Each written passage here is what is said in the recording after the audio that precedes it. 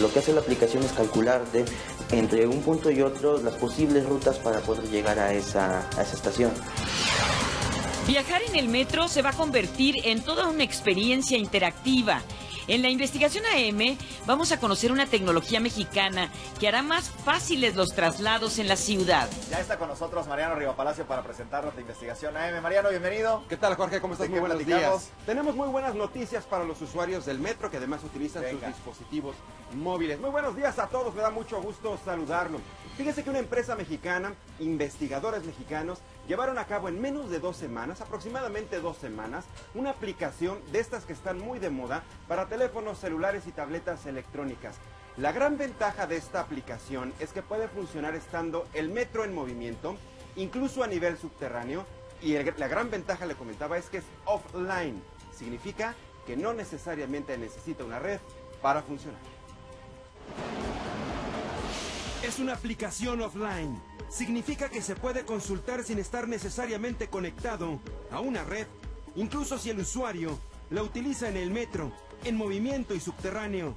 Rodrigo Zárate es su creador, quien tardó poco más de dos semanas en tener la lista. Digamos que la aplicación puede ser 100% desconectada. Cuando abres la aplicación lo primero que te muestra es la red del metro y desde ahí el usuario puede escoger interactivamente en ese mapa de qué estación a qué estación quiere llegar. Esta aplicación para dispositivos móviles surge para poder visualizar de una forma completamente interactiva la información que está en la página del metro para que los usuarios puedan llegar a sus destinos más rápido sin necesidad de pararse en alguna estación para revisar el mapa o entrar a la página web. Lo que hace la aplicación es calcular de entre un punto y otro las posibles rutas para poder llegar a esa, a esa estación. Una de las grandes ventajas es que se trata de una app gratuita. Permite consultar el mapa completo, hacer zoom o acercamiento, revisar las líneas y las estaciones, reconocer transbordes y además marcar la estación de origen y destino para calcular las rutas que se pueden tomar incluso dentro del mismo metro. A final de cuentas le brindamos al usuario una ágil eh, movilidad. Este, hoy día vives con tu celular, ¿no? Este, prácticamente para todo. En sí, para la aplicación del metro es bastante importante que, tengas una, una aplicación que esté totalmente desconectada porque pues, hoy día solamente cerca del 30% de las personas tienen un plan de datos eh, en, en Internet, ¿no? en tus teléfonos celulares. Este desarrollo tecnológico permite también que los usuarios consulten al mismo tiempo sus redes sociales. Para esta parte, sí requieren de una conexión a una red. Para lo demás, no. De esta manera, viajar en metro se convertiría en toda una experiencia interactiva.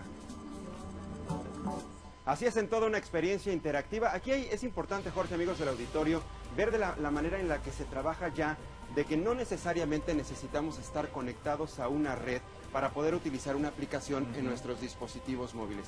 Ellos realizaron una serie de mm, algoritmos, son ecuaciones matemáticas para hacer funcionar un teléfono celular, una aplicación que tú tengas en tu teléfono, sin que tengas conectada a una red. Eso es impresionante y que maneje em, a nivel subterráneo, por ejemplo, en movimiento el metro, esa es otra cosa fabulosa.